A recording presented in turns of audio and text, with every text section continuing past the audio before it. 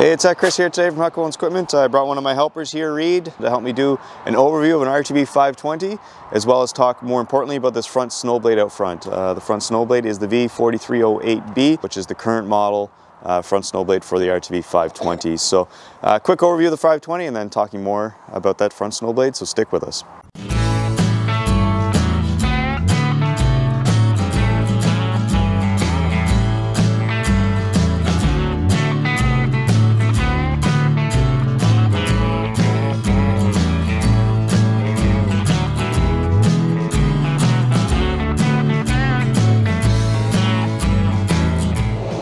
So what is the RTV 520? Is a side-by-side -side from Kubota. It's the smallest one they make. Again, it was the, it's been redone uh, for the 520. Before it used to be called the RTV 500.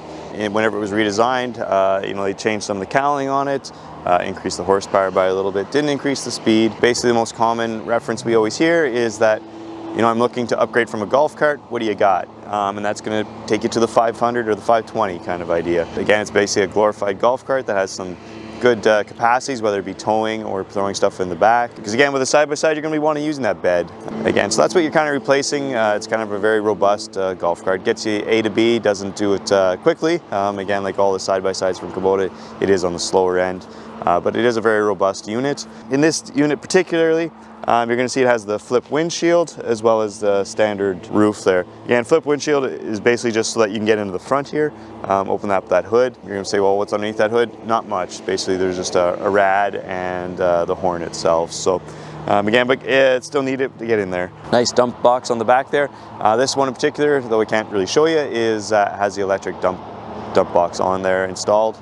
Uh, as an option, you'll see it's a little bit different than the other Dash X's or the Sidekick as it's not a spray and box liner, it's just nice metal uh, box liner. It's nice it's not plastic so that you can still throw your chainsaw, fuel and stuff in there and not have to worry about it breaking. The nice thing about the RTV 520 is it's hydrostatic. Uh, it means there's no belt in there to wear. It's going to be a little bit more robust over the years without uh, running into any issues with that hydrostatic transmission. Whenever you're going to be getting a, a 520 comes in a couple different colors. You have the, the camo and the orange. The deluxe edition, whenever you're picking a deluxe, it's going to come with uh, nice mag rims as well as uh, uh, the grill guard out front here. So this one is your standard edition uh, unit with uh, the black rims and then an, uh, and then added on is the grill guard itself. If you look on our channel, you're going to see a few other overviews of the 520. You know, we have one with a full cab on it, and then we also have one just basically set up the same as this, uh, first introducing it.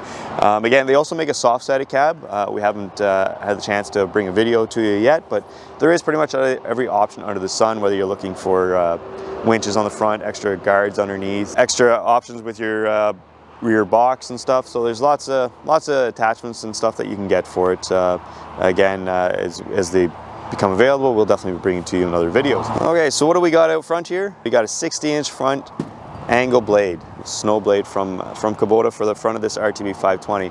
Model number is a V4308. It's not only exclusive for the 520, it is a new blade for it, but it is backwards compatible for your RTV 500 as well as the 400. Nice and simple, easy blade. One word you're gonna keep hearing me saying, whether it's referring to the 520 or this blade, it is very robust for the size of it.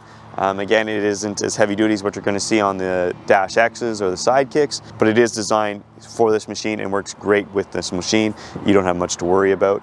Some of the standard features you're going to get with it um, is you're going to get uh, electric lift on it as well as some skid shoes. It is a trip blade, so you're gonna see that nice big spring on the back so that whenever you hit something, it will fold over and not damage anything. It is manual angled here.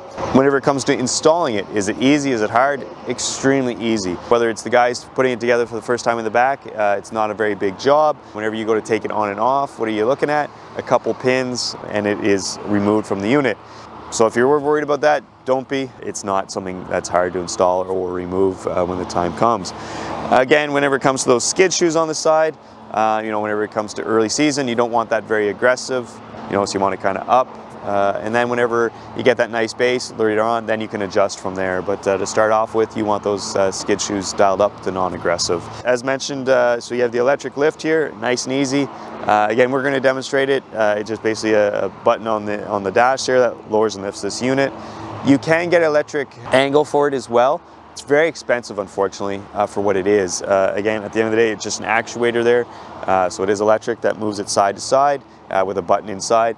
But for that option, you know, it's about $1,200 for the kit, and then you have install on top of that. So all of a sudden you're on $1,500, $1,800 uh, to make this blade move side to side a little bit.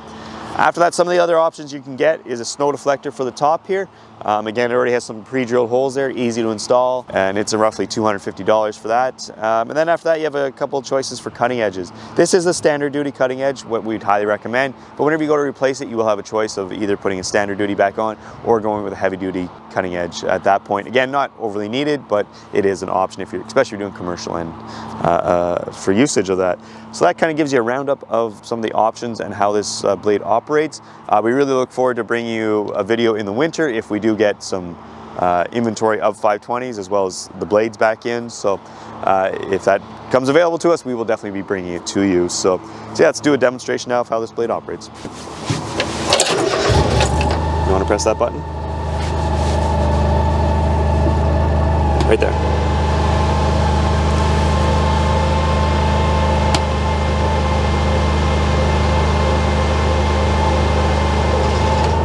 Look at that. Want to put it back down now?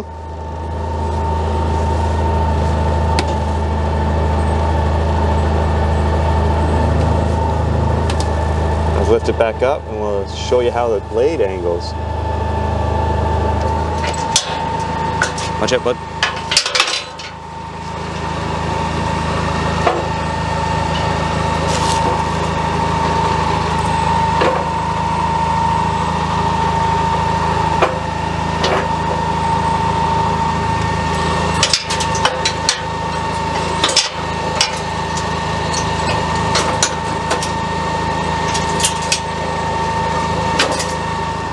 So that brings the end of today's video. I hope you enjoyed hearing a little bit more about what the RTV can bring to the table and offer for you, um, as well as what this front snow blade uh, from Kubota does for you.